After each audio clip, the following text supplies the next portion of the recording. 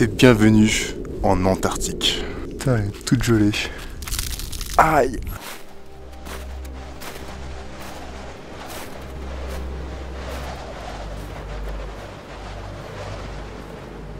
Alors, petite mise au point géographique. Contrairement au pôle Nord, qui est une mer entourée de continents, le pôle Sud est un véritable continent fait de roches sur lequel repose une énorme calotte de glace, d'une épaisseur allant jusqu'à 4800 mètres. D'une taille supérieure à l'Europe, c'est l'une des dernières terres encore inexplorées par l'homme. Et pour cause, plus de 99% du continent est recouvert de glace. Et depuis 1961, l'Antarctique est également déclarée comme terre de pêche et de science. Les conditions extrêmes empêchent toute civilisation de s'y implanter. On y trouve des températures records mondiales frisant les moins 90 degrés, des vents qui soufflent à plus de 320 km à l'heure, et une sécheresse plus aride que le Sahara lui-même. Car même si on marche sur de la glace, il n'y a que 2 à 3 cm de précipitation par an. Cette glace, elle représente plus de 80% de l'eau douce du monde. Et si elle fondait complètement, le niveau des mers augmenterait de 60 mètres, engloutissant de nombreuses villes côtières. Sous la glace, il y a des collines, des vallées, des lacs liquides et des montagnes de plus de 4000 mètres d'altitude, dont le sommet dépasse à peine de la glace. Pour découvrir ce continent blanc, il faut parcourir plus de 17 000 km depuis la France, faire le tour du globe pour accéder aux terres australes françaises, l'Adélie, un territoire revendiqué par les Français au XXIe siècle. Nous y avons deux stations, dont l'une sur la côte nommée Dumont-Durville étudie principalement la biologie. Et si vous croyez reconnaître un pingouin sur cette photo, c'est que vous avez faux. Dans l'hémisphère sud, ce sont des manchots. Souvenez-vous du film La marche de l'empereur de Luc Jacquet. Il n'y a pas non plus d'ours blanc. En fait, il n'y a quasiment pas de vie sur le continent. Sur le plateau intérieur, pas même une bactérie ne survit. Ce sont les conditions les plus dures trouvées à la surface de notre planète. Pourtant, il y a bien quelques Indes présents. Par exemple dans la station Concordia, à plus de 1000 km des côtes, 3200 mètres d'altitude, en plein milieu d'un grand désert glacé. Et on va voir ensemble comment se passe la vie dans ce milieu isolé.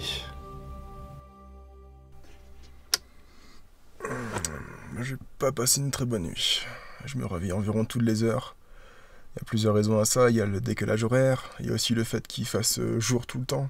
C'est assez perturbant. Autrement, j'ai vachement mal à la tête. Euh, ça parce qu'on est à l'équivalent de 4000 mètres d'altitude. Respirer, c'est assez difficile. Je me sens pas très très bien et j'espère que ça va passer dans les prochains jours. Mais rien de mieux qu'un petit froid pour se vivifier l'esprit. Alors, on m'a donné deux gros sacs d'équipement pour le froid. On va les ouvrir, faire un petit unboxing pour voir ce qu'il y a dedans. Une grosse combinaison anti-froid en duvet. Une autre veste anti-froid pour l'extérieur, avec un pantalon salopette. Des bottes qui résistent à moins 50 degrés. Un autre isolant pour les chaussures. Des charentaises que je vais mettre maintenant. Petite veste en mérinos. Bonnet, un pull, tour de cou, pantalon en mérinos, un masque, une polaire de l'Institut polaire français, un pantalon de travail, plein de chaussettes, une cagoule, des gants, des gants, des gants et des gants. Encore d'autres gants, d'autres chaussettes, des lunettes stylées, crème solaire et baume à lèvres. Un truc trop bien, c'est qu'on peut tout garder les équipements, tout à part justement bah, les chaussures et la combinaison. Comme ça, j'ai déjà toutes mes affaires pour le ski. Je vous présenter Concordia. Ce sont deux tours qui sont surmontées sur des pilotis. Et on y entre par la passerelle centrale. L'entrée principale est ici. Une porte bien isolée.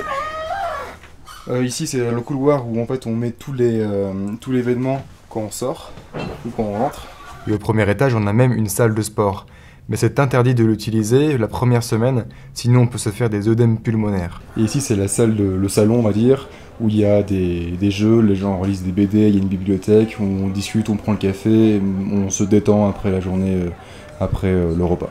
On était donc à la tour bruyante, on va passer maintenant à la tour calme, de l'autre côté du couloir. On a ici la salle informatique, où en fait on a deux ordinateurs qui sont à disposition. Le débit est vraiment très très faible, un peu comme les années 90 en gros. On peut parler de vidéos sur YouTube, rien du tout, juste consulter ses mails, et c'est déjà pas mal. Et on passe aux chambres à l'étage. On va pas faire trop de bruit, mais en gros c'est là où il y a toutes les chambres.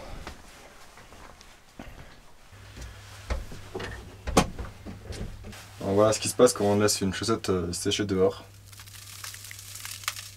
Mais il y a aussi des saisonniers d'été, dont j'en fais partie, qui dorment à l'extérieur de la base, Donc, par exemple, dans des, ces tentes chauffées, où il y a en fait juste le minimum de confort avec 8 lits, un poêle brûlant et des bonnes couettes. Et de retour à l'intérieur de la station, là les bureaux sont chauffés pour le matériel et aussi pour nous, pour travailler à l'aide sur nos recherches et nos données d'acquisition. Et tout en haut, c'est la tour de contrôle qui supervise tous les déplacements et la communication avec le monde extérieur. Il y a un truc qui est super chiant dans la station, c'est qu'en fait, euh, on- comme l'air est super sec, on accumule toute l'électricité statique, et à chaque fois qu'on touche un élément conducteur, comme du métal, on se prend une châtaigne. Le rythme de vie est assez cool parce qu'on prend le petit déjeuner entre 7 et 8 heures, puis après on a une réunion technique juste après qui définit les objectifs de la journée. Donc pour sortir, il faut s'équiper avec euh, un sous-pantalon, la laine mérinos, les chaussettes épaisses, le pantalon, la polaire, la combinaison anti-froid, les sous-gants, la cagoule, le masque, les surgants, les bottes, la capuche, tout ça pour un total de 12 kilos. Et là, on peut sortir dehors.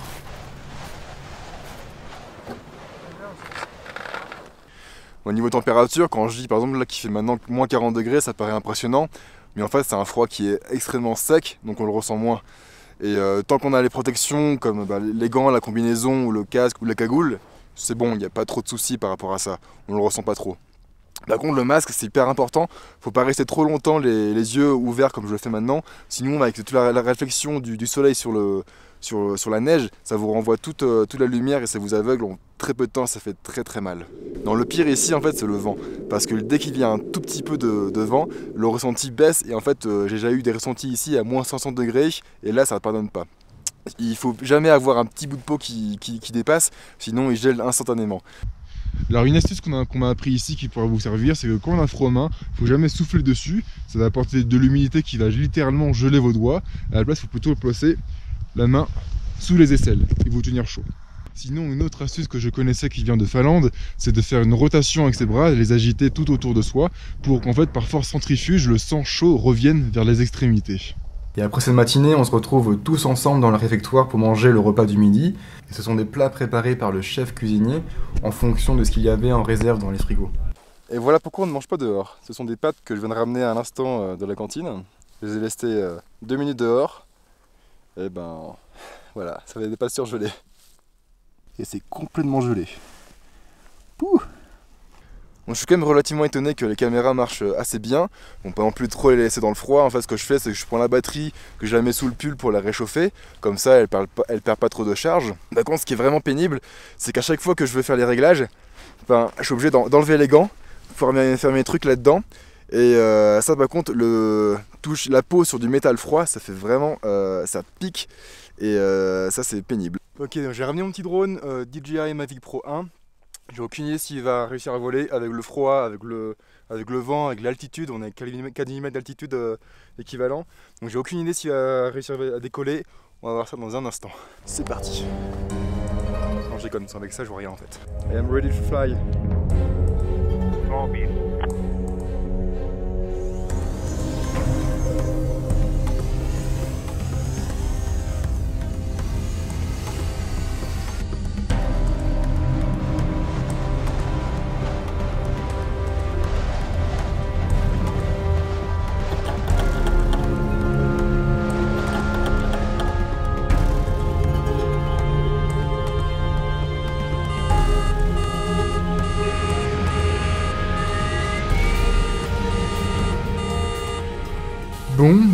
Pense que je vais arrêter là pour le drone aujourd'hui.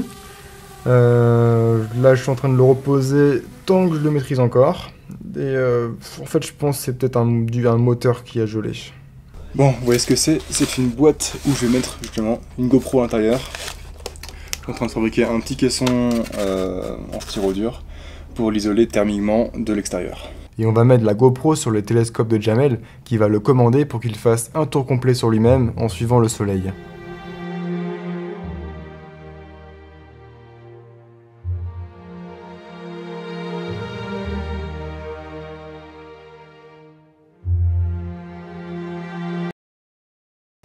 Ok, donc la première version n'a pas fonctionné. La GoPro a tenu environ 4 heures, puis après elle s'est éteinte à cause du froid, je pense, malgré l'alimentation par secteur. Donc euh, j'ai modifié légèrement la petite boîte. J'ai mis à la place euh, devant une petite vitre en plexiglas et j'ai rajouté un peu plus d'isolation. Je vais aussi rajouter une, euh, chaufferette chimique que je mettrai à l'intérieur. En fait, c'est une réaction isothermique, c'est-à-dire qu'il produit de la chaleur. Donc en espérant qu'avec la boîte euh, isolée, ça va conserver la chaleur pendant 24 heures. Et c'est reparti pour 24 heures d'enregistrement.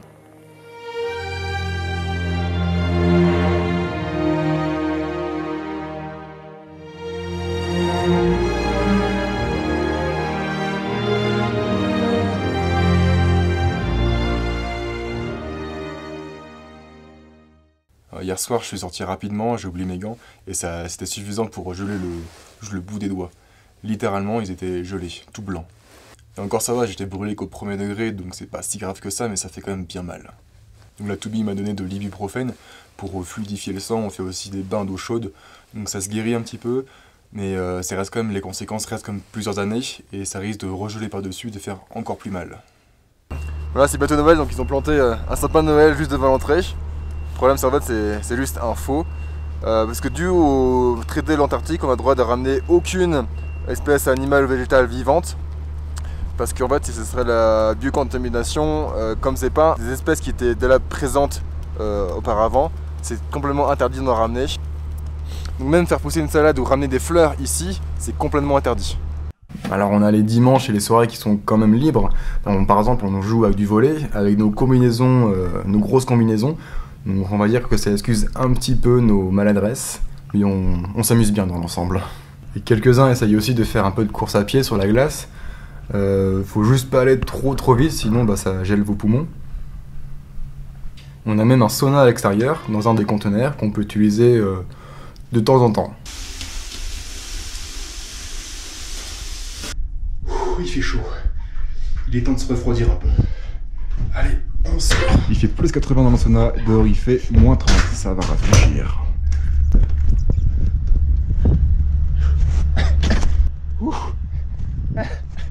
Ça refroidit.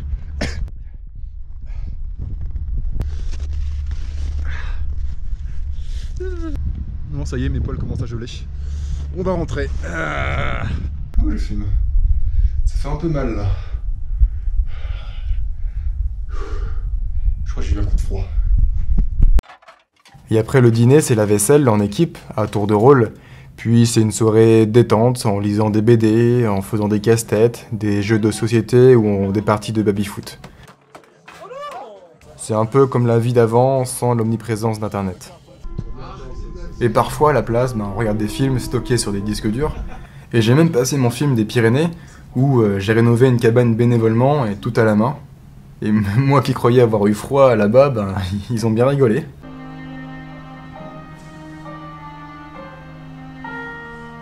On travaille du lundi au samedi soir, donc on a seulement le dimanche pour se reposer. Et euh, seulement une fois par mois, ben, on en profite un max et on, fait la fête. Et c'est la seule boîte de nuit d'Antarctique, en plein jour, par moins 50, complètement décalée.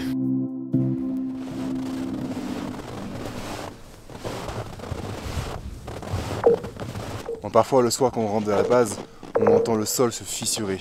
Ce sont des grandes craquelures qui font vibrer la glace sous, nos pieds, qui nous remontent dans le corps et qui fusent loin de nous. Là, il est minuit, il est temps d'aller dormir. Le problème, c'est qu'il fait encore euh, toujours bien jour. La seule solution, c'est de fermer les volets. Bonne nuit.